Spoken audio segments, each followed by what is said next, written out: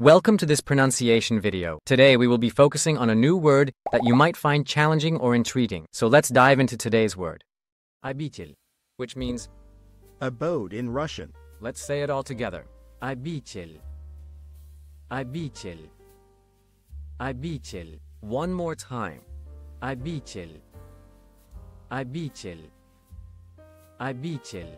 Thank you for joining us on this adventure in pronunciation. Remember, language is a journey, not a destination. Keep exploring, experimenting, and expanding your linguistic horizons. We'll see you next time.